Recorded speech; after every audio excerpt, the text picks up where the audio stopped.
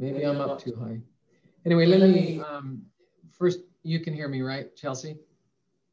Yep, I can hear you. Okay. I have a, uh, a, a, couple of stories to tell you here. This is about securing clients' personal information. It's all at the expense of Title One. Um, and, and so I'll tell you a couple of mistakes that we've seen made and um, that could help you as an agent be able to maybe um, not get into the same uh, problems that not only we got in, but some of the other agents uh, found themselves in the middle of. So the first, I'm just going to start with what I'll call a case study. It's really just a, a terrible experience.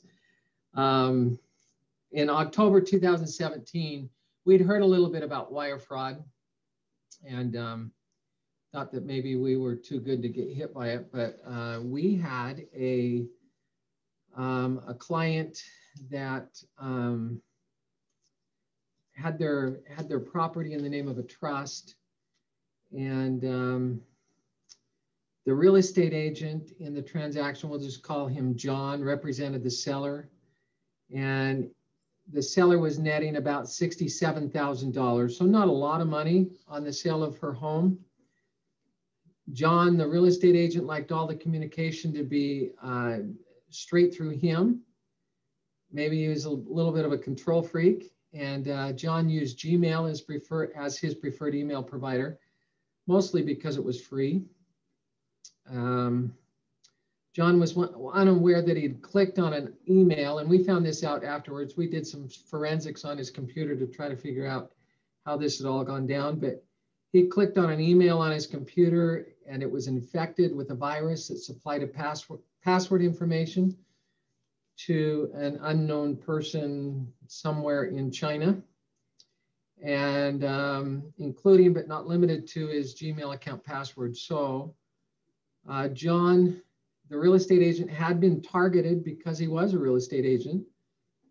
Um, this uh, person in China logged into John's Gmail account and waited to see what John had to say. Um, they patiently watched, probably for a couple of months, maybe longer. And um, and uh, the communication between John and his client with the title company prior to the morning of funding was, um, was all that they were waiting for. Uh, eventually, um, uh, this, uh, this fraudster, I'll call him in um, China, embedded in the chain of emails between John and the escrow officer, an email letting her know that the seller decided to send the proceeds to a different account than what they'd set that they just set up that morning, which is unusual. That's not a normal practice, right? But the account name that was um, um, the account was in the name of the trust of of the seller, and it was with Chase Bank. Both seemed pretty reputable. So, in spite of the fact that Title One had a uh, policy and procedure in place that said the escrow officer was not able to accept any verbal communication and had to confirm with the seller. If the wire instructions changed, the escrow officer promptly wired funds to Chase Bank after the recording. And it seemed like no problems had occurred. Everything was fine, but um, the seller left town for a couple of weeks, and that's why there was no problem. When she returned, she called the title company, called Title One, and said, "Hey, why don't I have my sixty-seven thousand in my account?" Uh, we were unable to get any information from Chase Bank for two weeks because they, we didn't have authorization. That's a that's a big problem. And the FBI finally confirmed the account was cleaned out and closed really the day following uh, the deposit in there. So a couple of questions, and this is where I need some feedback. I know this is a um, a uh, virtual class, so it's not as accommodating conversation, but um, who's who's responsible for the loss? Just just who do you think is uh, ultimately responsible? Is it the seller? Don't be shy. Somebody speak up. Would your seller be responsible to pay those funds? I mean, to, to just suffer that loss? They had given us the wire instructions at closing. No, the title company, uh, I think the title I can't hear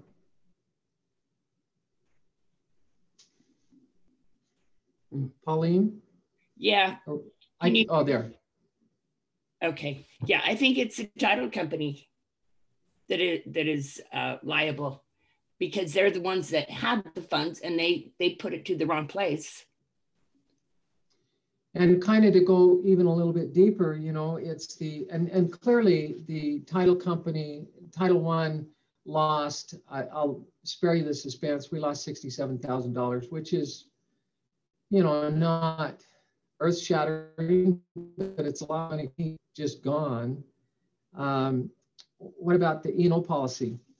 You know, and, and, and if, if anybody has comments, just tell me your comments. I'll just kind of go through the scenarios here because we had policies and procedures in place not to accept wire instructions from the um, the um, seller without confirming them, our E and O policy, uh, the loss on that was denied. Besides that, there's like a thirty thousand dollar deductible. So, do you really want to pay it? And then they raise the premium. Um, cyber fraud policy. Um, again, policies and procedures weren't followed, so they denied it. So the title company is responsible. I just want to talk a little bit about, because your agents, um, what could have been done differently. Uh, title company followed, if the title company followed policies and procedures, maybe there's not a loss. Um, escrow should never accept changes to wire instructions through email. And, and we have um, put that, we don't accept, sometimes people say, well, I just want to email my wire instructions. We will not accept those at all, no matter what. They've got to be in person. And I think, I think that's a good policy. Um, emails absolutely can be compromised. Maybe the real estate agent gives up some of the control. I mean, why as a real estate agent does he want to be providing the title company's wire instructions to his client? Um, do any of you do that or do you allow the title, is the title company the one that is um, providing the wire instructions? Personally, I let the title company take care of that. And I think that's the policy absolutely you ought to have. Um, we were a little more flexible and allowed John to give some of that information out. Um, and then two-factor authentication when logging into email. Um, I'm still surprised. There's a lot of um, agents that are still not using two-factor authentication. Um, I think Gmail is a good platform, but it's um, it's hacked a lot. And two-factor authentication just simply, I mean, I don't I don't need you to raise your hands and say, hey, I don't use it, but it is something that I think you should um, write down if you're not using it. And if it's Gmail or if it's Hotmail, all of the major email providers, uh, Microsoft certainly, all provide two-factor authentication. And uh, what that does is if, if your email's been compromised and somebody's logging into it, you're going to get a passcode on your phone that says, you know, are you attempting to log in? If so, enter this passcode. You know that somebody's in your email. And, and I think if everyone did that just alone, wire fraud would uh, be reduced tremendously. But I still see agents that are not doing that. And I, I think principally that's because it's a pain. You know, it's a, um, sometimes you have to put a code in when you're getting in your email, but uh, for sure I would, I would say absolutely ought to do that. So what are the barriers to implementing change? Not worth the cost to implement.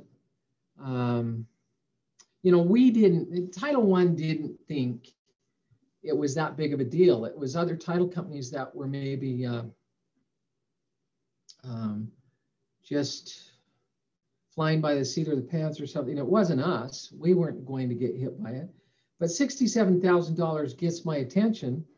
And um, all of a sudden we start to think, okay, we need to get serious about that. And so whether it costs you from a loss or it costs you from a, uh, um, or, or if you're just smart enough to say, I want to avoid this kind of a problem, um, either way, you need to get with it because there's a there's a lot of um, there's a lot of risk out there. It's not going away. It's getting worse all the time. So um, I guess I guess the other um, the other uh, thing that helps is email phishing. I oops, I haven't really been going through this, but let me um, let me click on it. Probably gone far ahead. Um, so let me go to a different one. I I think um, in December of 2020, you know, we had all these things in place. We were doing a split closing. We were splitting with um, First American Title. They were doing the buyer side of the transaction. And just so you know, this is continuing. Every week I hear about some kind of financial loss due to fraud. And um, we, we, again, we were, we were closing the seller, the seller agent, longtime client of ours. He's, um, he's feeling pretty safe. His buyers, they weren't his buyers. The other agent involved, his buyers were out of state. It was a first time home buyer deal. They were putting $15,000 down. And um, they had done a mobile notary kind of closing. In that package were wire instructions from um, First American Title.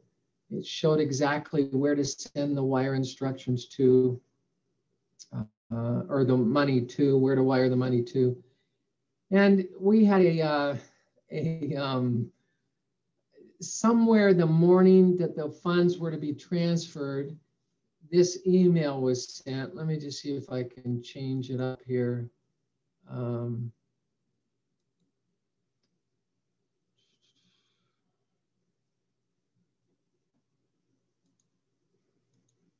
this email was sent. Can you see that?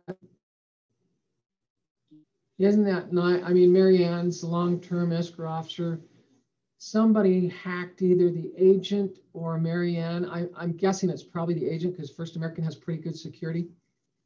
Hacked and sent out this nice email to uh, the buyer. And the buyer promptly went over to their bank and wired funds. Um, can you see anything wrong with that email? Anything that stands out? Yeah, it's not a real name. It's uh, escrow officer close at gmail.com. Exactly.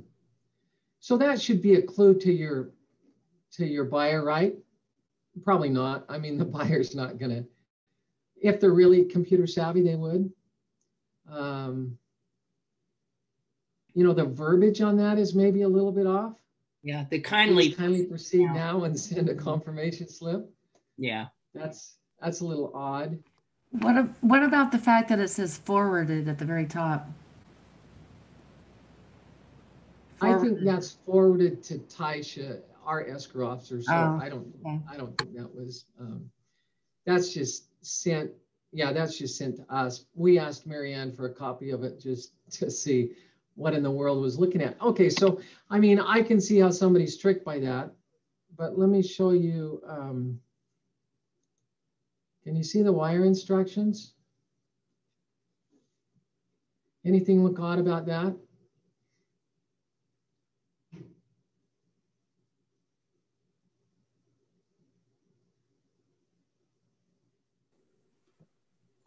The account name, maybe? Yeah. Krishan Carter.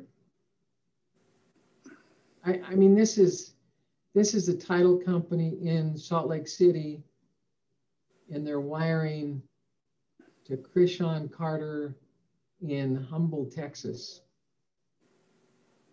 Um, I, I think it's, you know, it, it's funny if you go back. I mean, I really don't understand how a buyer would look at that and say it's okay, other than they just don't know. They're not doing this, and so they don't know. What I like about um, Marianne's is it showed, oh, I thought it had the, it does, it's just cut off. it has her wire fraud warning on there too, which is almost humorous. But um, so so what happens on this? There's a um, there's a um, the buyer promptly goes and wires the fifteen thousand dollars, all the money they had in the world, to um, and and I don't know where these guys were out of, but um, to somebody, fifteen thousand again isn't a lot, but it was a lot to those buyers. And how did that impact the closing? The um, the buyers couldn't buy the home, and the sellers had already had they had a home listed. They had it. Um, I mean, they had a purchase already. They were closing the next day on their um, on the purchase of their new home. That home was delayed as the as the buyers frantically went around trying to ask their relatives for fifteen thousand dollars. I'm not even sure if that's legal to go borrow your down payment from your family, but it um, in this case, about four weeks later, they came up with the money and everything went through. So it was a happy ending to it. But sometime in the interim, there, the um, agent that was was our client on the seller side called and said, "What can we do on this? What can we do?" I mean, um, he's lost two commissions and feeling pretty frustrated. And was any of that his fault? Absolutely not. Um, so what can he do? We can't do a darn thing. Um, and you know, it was sad for me to say we can't do it. And he said, "Well, you need to fi- figure a way to fix it." And uh, you know, there's pressure that's put on title companies all the time. I don't, I don't know um, what I can actually do to fix it. Just a second here. I'm trying to. I totally blown it. Oh, are you seeing that screen? Not yet. Um, Well, I'm just seeing a photo, just you. well, oh, share screen. There we go. So uh, a couple of things, and I don't want to dwell on these too much, but I think they're of um, value to look at here.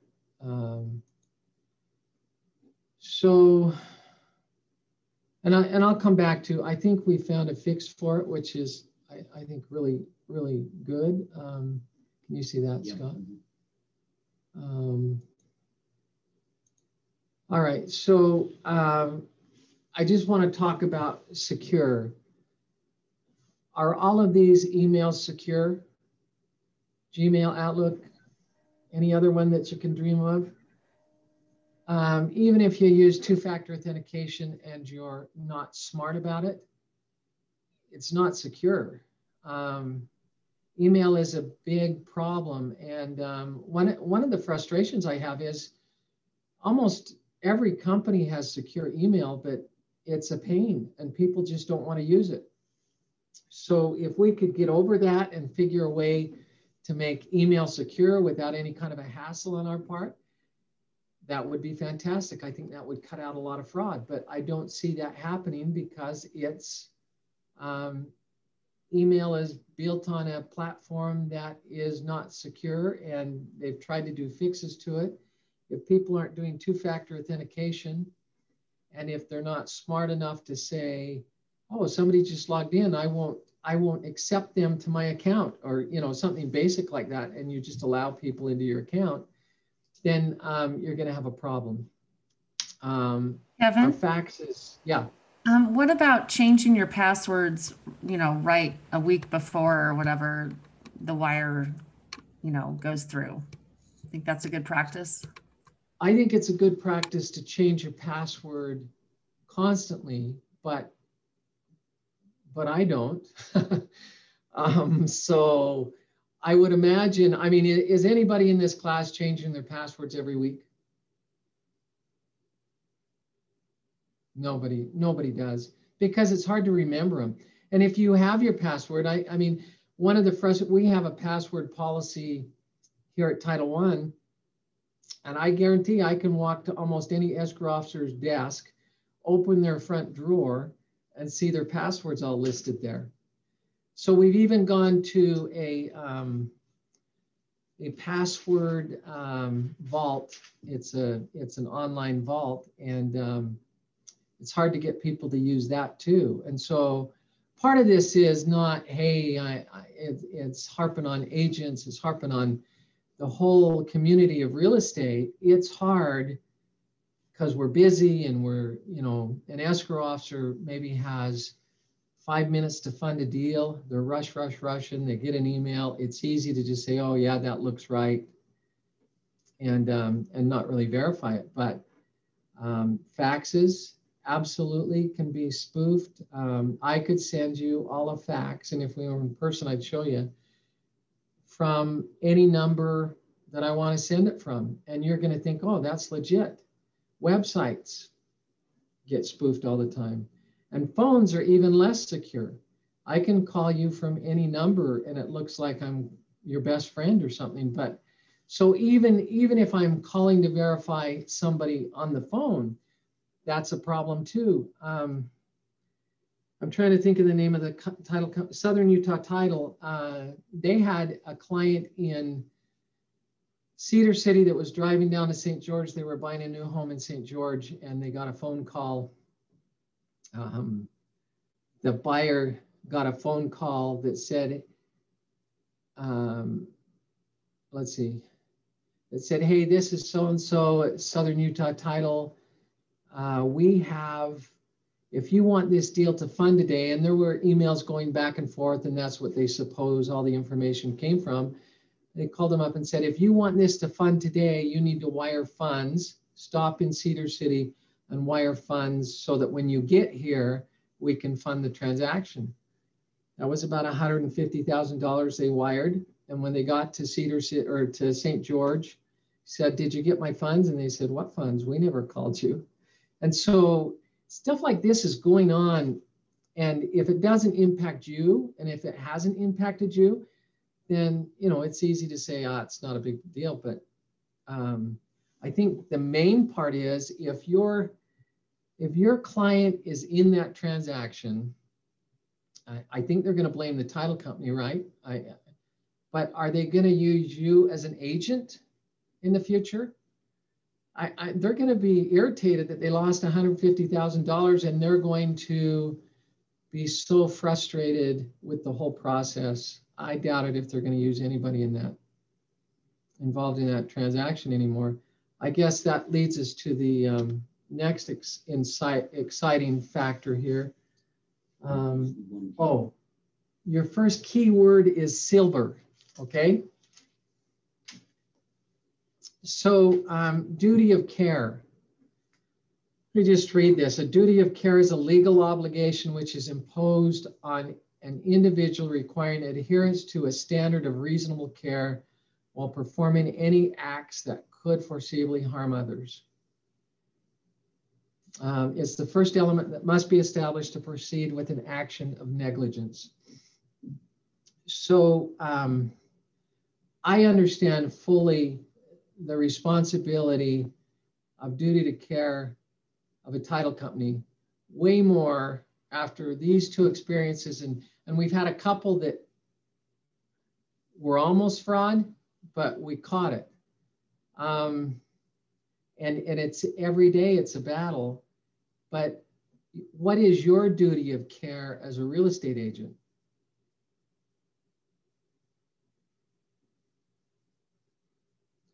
I, I would say number one, your duty of care is to inform and educate your buyers and sellers. Um, if you don't tell them that, you know, I, I mean, it's a fine line because you don't want them panicked. But then again, you want them to take this seriously and say, look, you're going to be wiring funds to the title company. Work with your title company and make sure that you understand exactly what their procedures are so that you can inform your client hey, they will only accept wiring instructions in person or through a certain platform. And, and if anybody calls you for any other reason, you call me or you ignore it or you do whatever. And um, and if you don't do that, you're you can be negligent. Um, so going back to the Southern Utah Title One, who do you think got sued in that? Um, in that, just the title company? In that uh, $150,000 loss? Everyone. Everybody involved in the transaction was brought into litigation.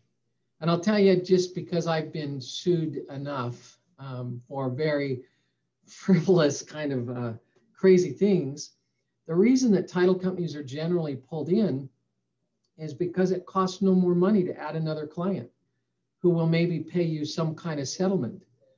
And um, as agents, um, there's getting there's a lot of litigation that is um,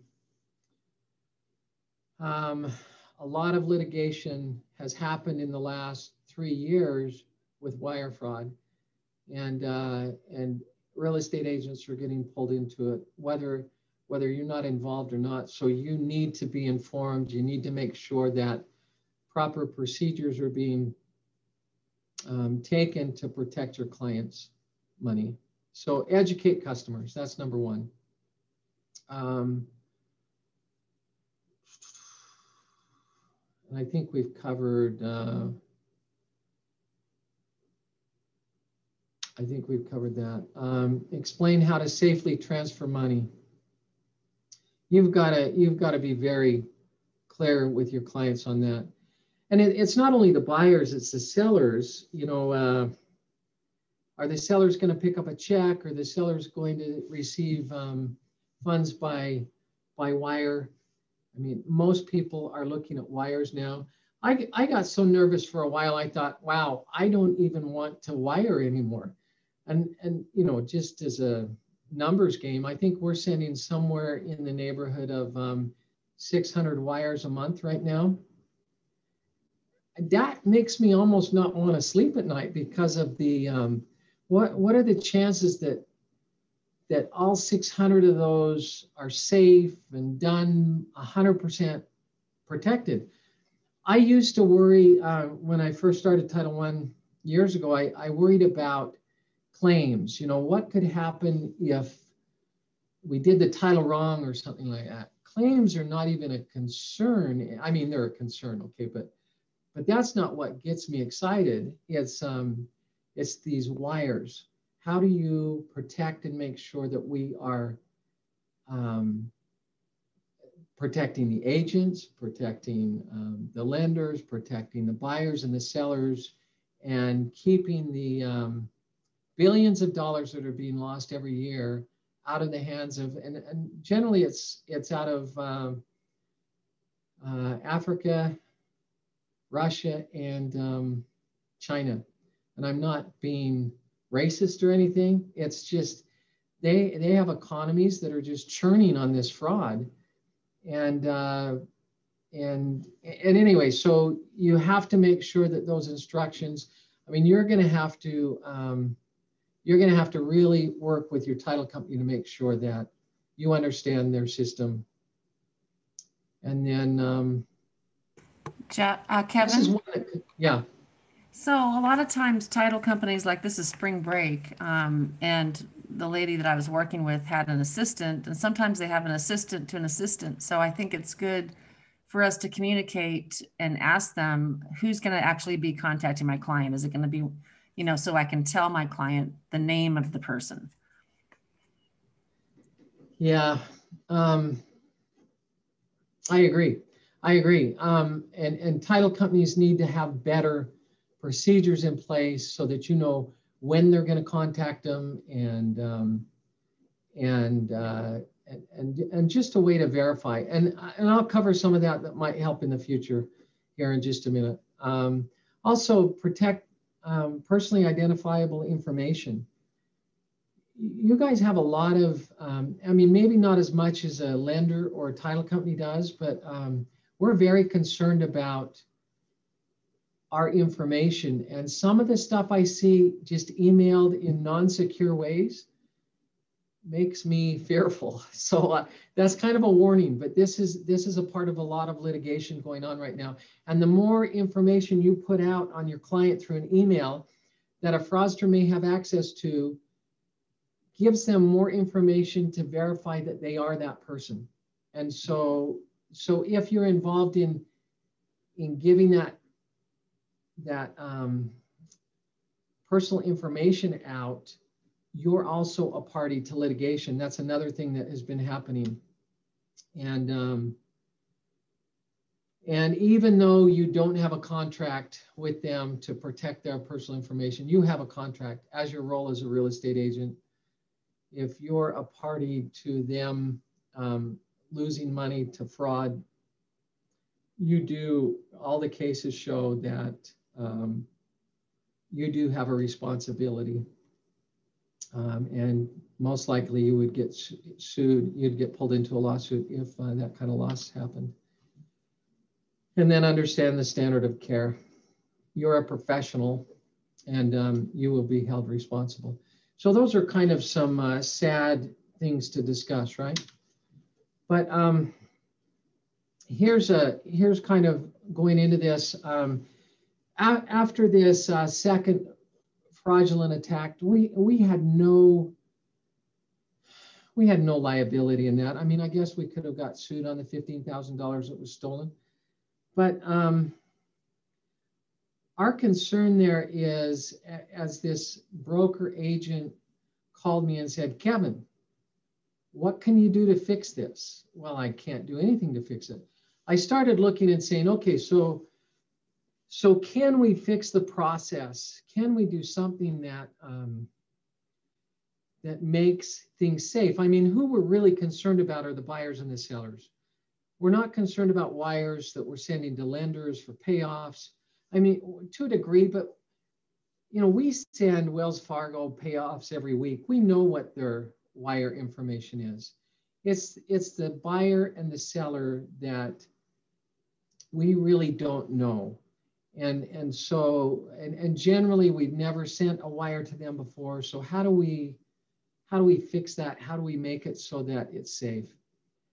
And I found this um, certified ID. And, um, and, you know, I told you this is the biggest concern that I have um, as an owner of a title company is how do we how do we I, and you know i care about the good of the community but i also care about myself. How do i avoid $67000 losses every year? How do i avoid just the bad press of oh i closed with title one and somebody stole my money? It may have been on a split but nonetheless it's it, it reflects poorly on us. And and so we found this certified id certified id um, it's a um, it's been around for a little while. I, am going to have Scott talk about it for a minute, but um, what it really does is it's a it's a portal that so there's two parts to it. There's a portal that the um, the buyer can log into, and and and it's it you know it costs Title One five thousand dollars a year to have that portal available to our clients. So it's not cheap, but it sure is cheaper than a bad reputation and $67,000 loss or even a $15,000 loss. You know, I, I think as an industry, we've got to find ways to make ourselves to make sure, I think as an agent, you need to make sure that none of your clients ever have this kind of a situation happen. And, and certified ID is not exclusive to Title One. I think we were the first ones to sign up in Utah, and I don't know how many others they have signed up. It integrates with our title software. Um, so if we, the first point is a buyer. A buyer has to log into a portal and it gives them a, um, it asks them four questions. And, and this process takes three to four minutes. And quite honestly, from my point of view, I don't care if it takes them four minutes as long as we can save them the loss of money.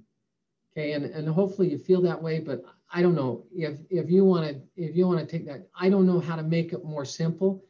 Four minutes to make sure that they don't lose their money in this transaction is a pretty good deal. I mean, it seems like a pretty good deal to me. So they log in and they put in four bits of information. And through that portal is and and then they put in their their um, they receive our wire instructions through that portal. Um, and all they have to do is take those wire instructions to the bank and wire directly to us. If something happens and that money is not, um, doesn't make it to us, I'm going to just say that as a general and I'll have Scott address the other issue because they're stupid too. But if you, if you, um, if they send, if they follow the instructions that are give, given to them through the portal, go to their bank and send money to us, and it doesn't make it because of no fault on their own, um, that transaction is sure, insured up to a million dollars through certified ID. Title One pays three bucks every time a wire comes into us or goes out from us on this certified ID platform. So we're paying to have Lloyd's of London back us for up to a million dollars on each wire. Um, that makes me sleep at night because we have a we have a uh, now a guarantee that that those funds are coming to us no matter what. It's an insurance policy backed by a portal, which is a you know a, a great option. And then you have the seller side of it where um, they have to log in if they're not actually here in the closing, physically giving us their wire instructions they log into a portal, they put in, it, it verifies who they are. You know, it's kind of this uh, high tech, scary stuff where your information's out there, whether you like it or not, and they can verify your address, your age, everything.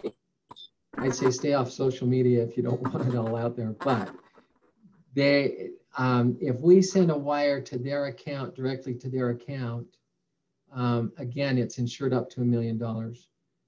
So in my mind, this really fixes um, a lot of the issues that we have. And I would encourage you to look for or, or ask from your title company, is there, do you have certified? I, I think there's a couple others. Certified is one of the biggest and they have some numbers here as of the first of the year, they had, um,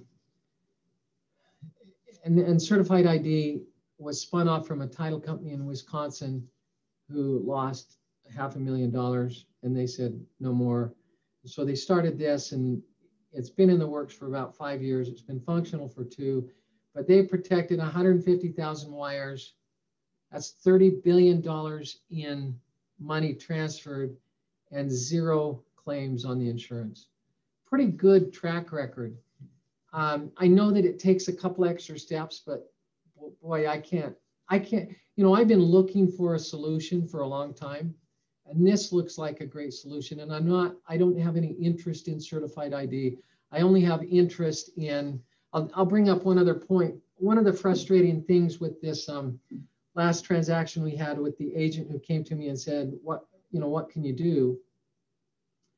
I think one thing that you could do as an agent um, is to make sure, and maybe this is overstretching, and you guys can tell me, no, you're crazy, that would never work. But your commission's on the line too, not to mention the buyer's money. And maybe you don't care about the buyer if you're on the seller side, but you do care about your sellers not being able to purchase that home, that next transactions that's tied to it. I think I would be questioning those agents do you have protection against wire fraud and and maybe you know i i might be a little overzealous on this okay but if there was protection on that deal where our agent comes to me and says what can i do that transaction would have flowed through no problem but instead and and he's darn lucky that it was only $15000 what if it was $100,000? You're not going to go gather $100,000 from your neighbors and friends to be able to pay for the 15,000 that you lost. That's going to be a lot harder scenario. So um, even in the transactions, I would hope that this this platform or similar platforms are able to be um, uh, utilized more and required by by agents so that uh, we're not giving away billions of dollars every year every year in money. And I think Scott has some stuff to say on that. Scott, if you want to turn yours on, I'll shut mine off. Hopefully you hear me. Can everybody hear me? Yeah. Okay, great. Um, there's also, there's also a, a second, uh, keyword that you should have here, which is dollar. D O L L A R. Okay, so let me talk a little bit, let me give you a little bit about my background and, and, and then talk a little bit about this funds transfer. And then I had some questions myself in regards to how you uh, make sure that your client is taken care of. Now, my background, I spent five years as an insurance agent, and I can tell you that regardless of whether it's your fault or not, your client sees you as their representative. So, you know, they don't know the title company, they don't know the lenders that well. They do know who the real estate a- agent is. And when I was in insurance uh, and ran my own business, I the buck always came back to me whether it was my fault or not. And I can tell you, regardless of whether I was really responsible for the loss of, of my client's money or coverages that weren't proper or in place, it never felt good. And so, even if in my own mind I would say to myself, this is not my problem, this is not my fault, I would still not feel, um, I would not sleep well at night. Repeat the second password. That second password again is dollar, like a dollar bill. Okay, so so even though, and you have E and O coverage, and I had E and O coverage also, and I never actually ended up having to use the E and O coverage, but I will tell you that there were a few times that when I left my office, I, I didn't feel very good because the client is a consumer, and a lot of times the consumers don't know anything. So they're they're depending upon a professional who's going to be able to guide them through the labyrinth of of the transaction of whatever happens to be going on. So when it comes to this, in regards to uh, wire fraud, um, and, and Certified ID made this kind of presentation about protecting the client. I had a big question for them, and I called them and I spent about 45 minutes to an hour with them talking over this scenario. I said to him, "You guarantee that that transaction will be insured." and that the risk is going to come on to Lloyd's of London or whoever may be the underwriter on this. But what happens if your if the client doesn't follow instructions? In other words, here's the instruction: go into the portal and do take these few minutes of step. But what happens if they don't do that, and then they end up having their funds um, losing their funds? So the answer to that is this there is a separate coverage that can be purchased by the consumer, and the charge is $3 per thousand of their money. So let's say a person has $100,000 that they're wanting to wire transfer, they can insure it for three for $300. And now somebody may say, well, I don't want to pay the $300. That's great. But all insurance is about is risk transfer. But what would be nice for the agent to be able to say so that they can now talk with their customer is say, here's an option. You can insure your money no matter what happens. You can insure your money through certified ID for $3 per thousand. And if somehow something goes wrong, even if the consumer is the one that did something wrong, uh, certified ID is actually insuring that transaction. So most people um, may say, uh, I don't want to pay that money because the chance of loss is very um, low. And it probably is because if they follow the instructions, Kevin already stated here, what's the loss? Zero for, for transactions to have a zero loss ratio is unheard of. So that must mean that that going through that portal is working for your client. It's really protecting your client. But if your client doesn't do it right, there's no protection. In other words, you got to take one, two, three steps. It's going to take you three minutes. But if your client doesn't do that, what happens now? Well, they can purchase that if if they want. So that's an added benefit. If I were a real estate agent and I was talking to my client, I would explain that and say, look, here's the other option. If you feel like you need this coverage, great. If you don't, great. But at least now you've explained it, which gets back to a lot of times what would happen to me uh, as an insurance agent. People would assume they have different kinds of coverages, but in the end, sometimes they didn't. Like if they built a barn in the back and they don't let their insurance company know and it burns down, do they have coverage? The answer is no. But they think they do. For some reason, they don't think they need to call their insurance agent. And so, even though you're in the right, still, it doesn't have that conversation is not a very pleasant conversation. So, in my mind, being a, an insurance guy my whole life, this is the kind of protection that you want to be able to explain to your clients so that if something does happen, that you're able to actually say, well, we talked about this. You decided this is something you didn't want to do. And so that's why it's not done. The other, of course, the other part of this is that um, there's absolutely no cost to going through um, certified ID for your client if they follow the steps. It's all that's borne by the title company. So is there any questions anybody has on that uh, that before I turn the time back over uh, to Kevin here for the final few thoughts. Anybody have any thoughts? Okay, great. Kevin, I'll turn it back over to you.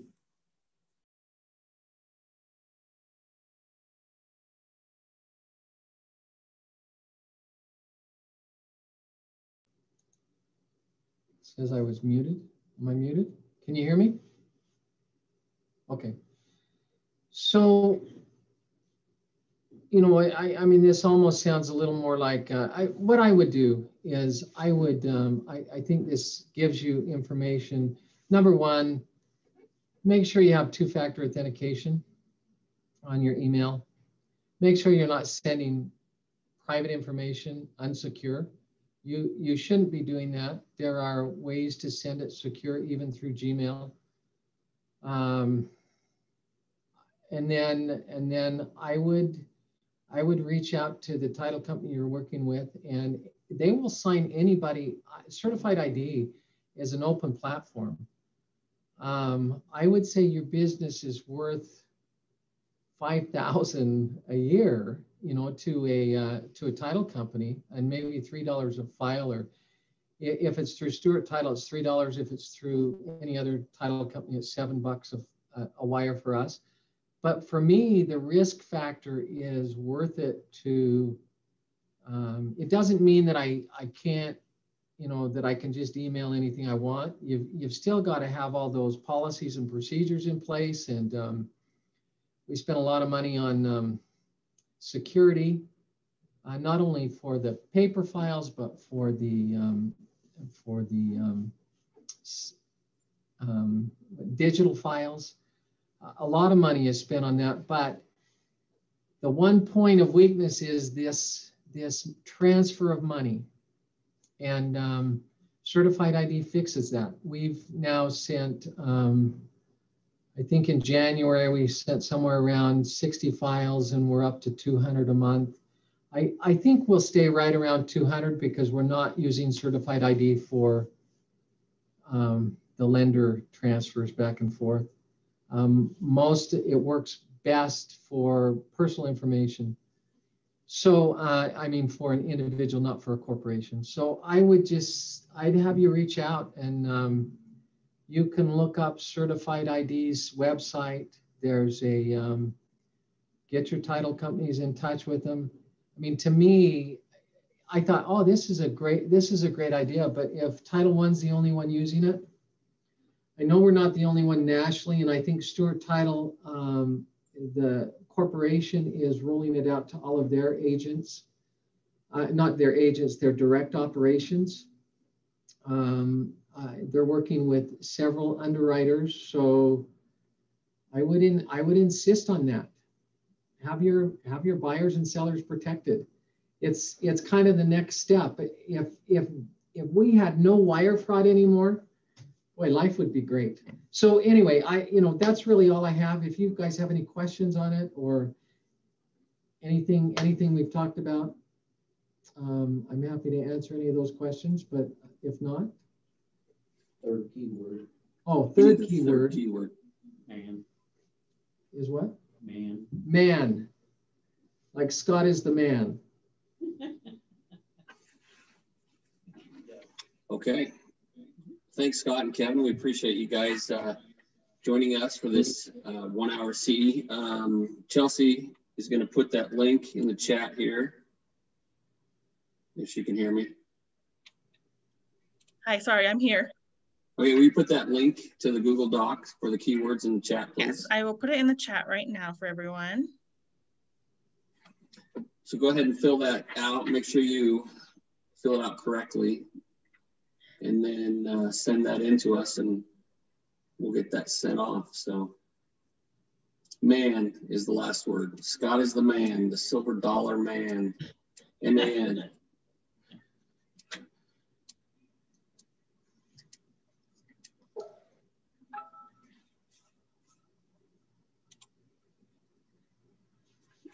Okay.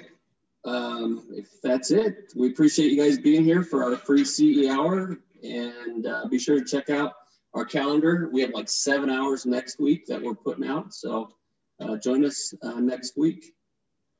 Thanks, everybody. Thank Thanks, you. Kevin. Thanks for having us. Thanks, bye.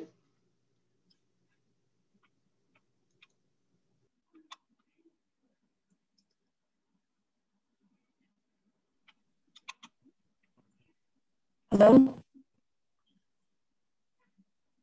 Oh, there we go.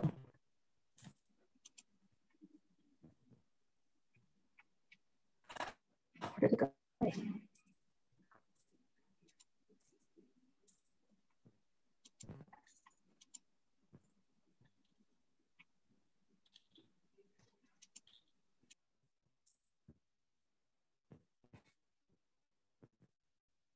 Can anyone hear me?